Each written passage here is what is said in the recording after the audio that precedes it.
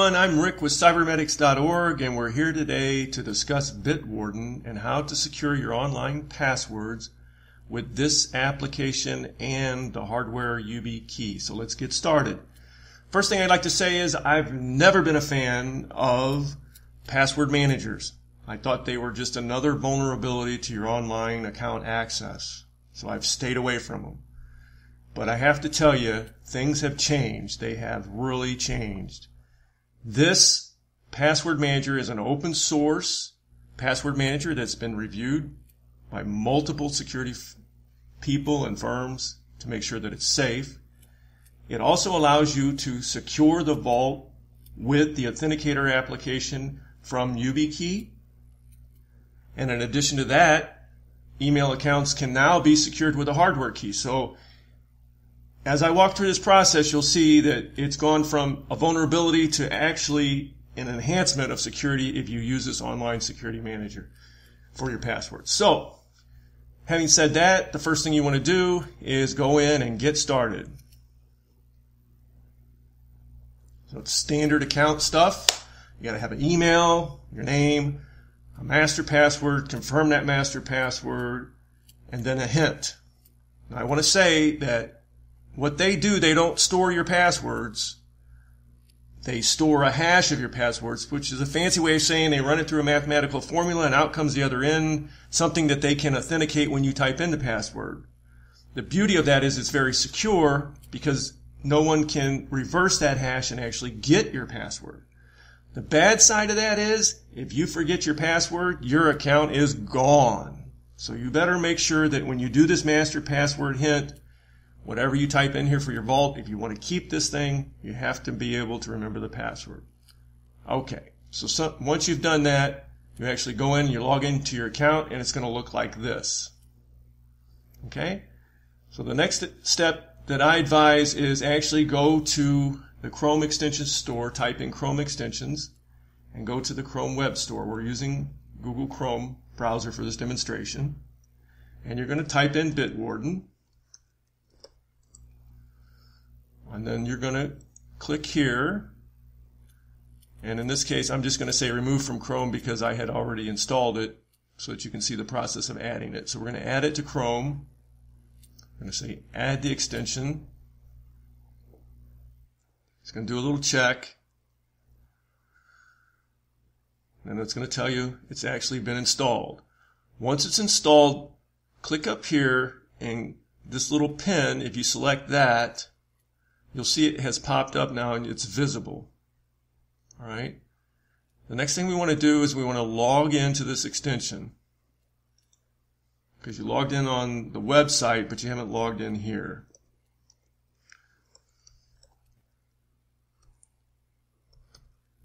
Okay, so once we've done that, we'll get logged in. You'll see there's no accounts that have been set up on your vault. Okay. So let's use Gmail as an example to show you how this process would work. So we're going to sign in.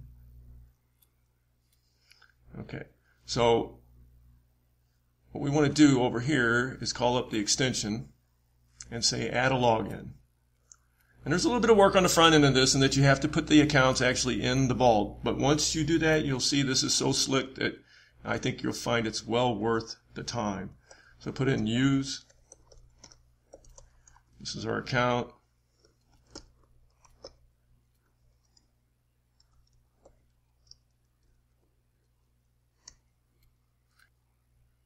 Save the item.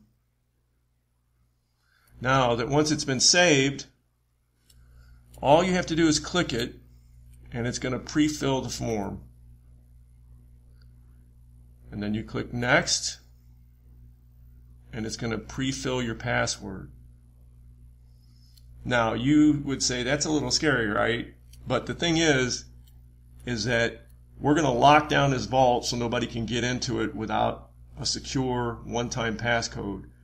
And this particular account I've locked down with a hardware YubiKey. So that makes the account even more secure. So you see there, we couldn't get into the account even with the with the password and ID. if we didn't have the hardware key plugged into the side of the device. So there you go. So the next thing that I want to show you, that's why I logged into the website, is you can go here and click Settings. And you can come down here and go to two-step login. Okay. Now they got a big warning here. If you don't keep your second factor authentication capability active and forget how to use it or forget how to log into it or whatever, you will not be able to get into your account. So what it does is it creates a view recovery code. And what I recommend is you click this view recovery code and then you save it in a secure location. It's kind of like a backup code for uh, analogous to a backup code for Gmail, you know, for to log into your Gmail account. So that recovery code would allow you to get back in here if you're you lost your key, you couldn't uh, use your authenticator, something to that effect. Okay. So what we want to do is launch the Yubico Authenticator application. All right. So we're going to say manage here on the Authenticator app.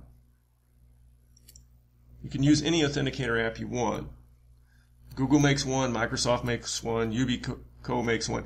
I just like Yubico because I already have the security key, so you can use whatever you want.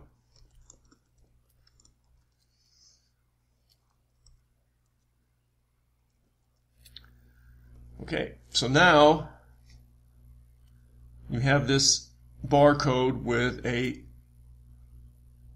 cipher on the bottom, the key, and we can go back into Yubico and we can come up here and we can actually say authenticator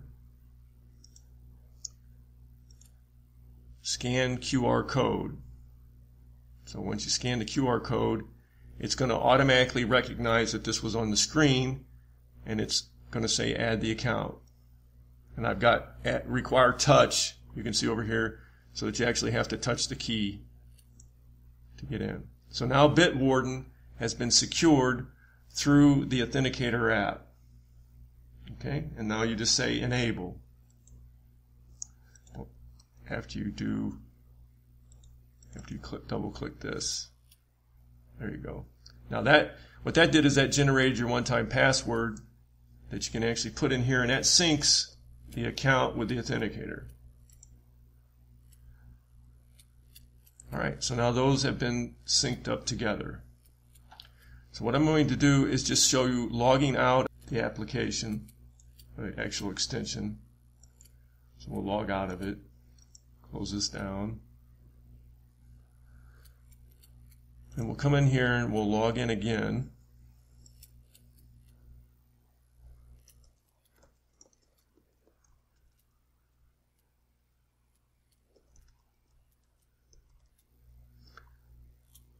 And this time you can see it wants a six digit code. So that's the code that you're actually going to generate from the Yubico Authenticator app. And all you have to do is double click this, touch the key, and you'll see this code here. And it's actually been copied to the clipboard. So all you have to do is right click and paste that code in there and continue. And now you can see you're logged into your vault. So this account is secured with a physical YubiKey, and now this account is secured through the Authenticator app on Yubico. So in order for someone, think about how secure this is now. You've got your passwords in here, which would be a concern because I've never used one before. But now it's like to get in it, they have to have the authenticator be cracked. In other words, they have to be able to get into the key that you actually use for the Authenticator app. And then if you've if you've secured this particular account with a key, they have to have that key to actually get in the account. So not only do they have to have your login ID, they have to have your password, they have to have cracked the Authenticator app, and they have to have your physical key. Think about all that stuff, right? That's an extremely difficult account to get into at that point. And you've streamlined the process to be able to get into your accounts you saw how easy that was. Let's just go through this one more time because I just want you to see exactly how easy this is to get into these accounts now that we've got it set up. Okay, we've reopened the browser after closing it down and the first thing I did was click on the extension for Bitwarden and typed in the password and we're going to click login. And since we secured it with the Authenticator app, we're going to go in there and double click that. It'll say touch the key. Now it's copied that verification code for the vault. And all I do is paste that in there, right click paste or control V and then continue. Now you're actually logged into your account. Now if we come down here and just double click this, it's going to take us to the account that we want to log into. And then we can just come over here, click the extension, click this, and it auto-fills your account ID. Is that slick or what? And bang, there's your password. And note, see this account I've secured with a hardware key. So even if somebody hacked your vault, they still cannot get into your account. So there's almost zero risk associated with doing this, but it makes your life a lot easier getting in and out of your accounts.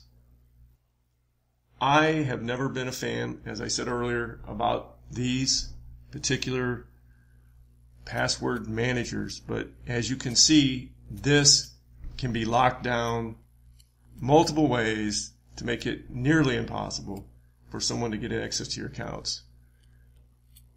So if you have any questions, please post them below. Thank you for watching. I hope you will consider subscribing. If there's any other content you'd like to see developed, we would love to hear from you.